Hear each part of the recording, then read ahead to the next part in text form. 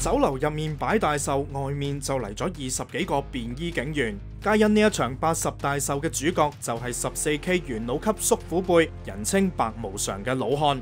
呢一场寿宴喺尖东半岛中心嘅酒楼延开，大约三十席，唔少江湖中人都有到场贺寿噶。另外值得一提嘅系，寿宴嘅司仪系前亚视艺人刘石贤啊。警方为防有人搞事，于是就派出有组织罪案及三合会调查科同西九龙总区反黑组嘅探员到场戒备。